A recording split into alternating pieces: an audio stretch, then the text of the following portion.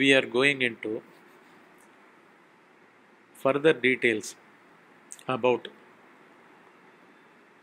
taking up this art titled as the art of deathless eternal living. It's a technique of living in supreme consciousness 24 by 7 when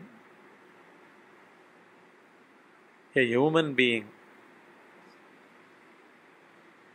knows this or not, the humanity at large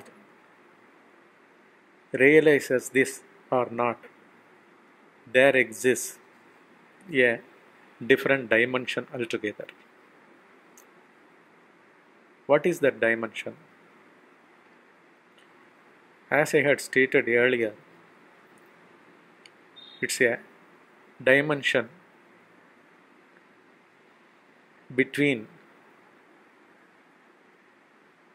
deep sleep state existence and the thoughtful, feelingful waking state or a dream state.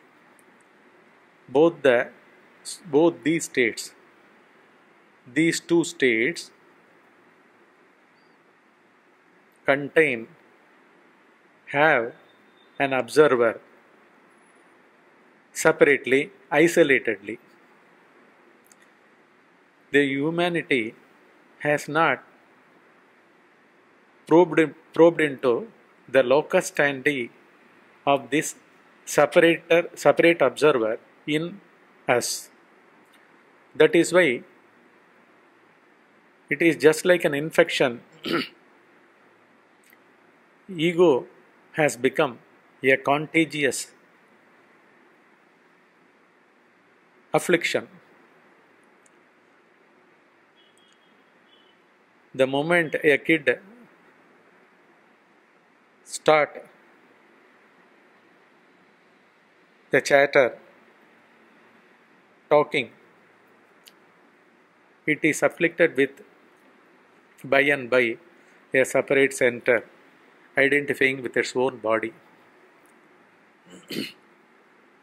That is what is called as the ego.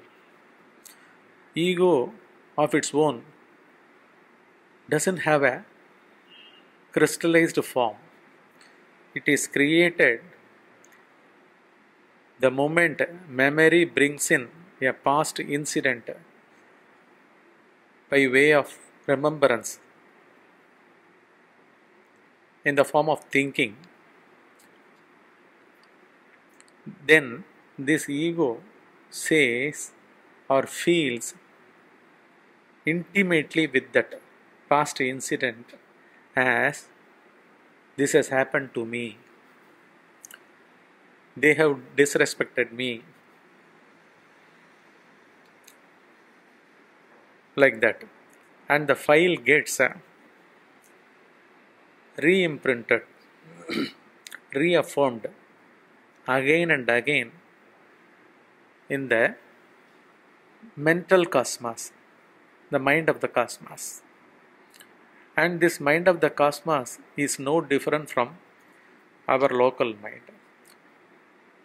We draw signals only from that for our thinking, feeling existence. We are nothing but feeling, thinking machine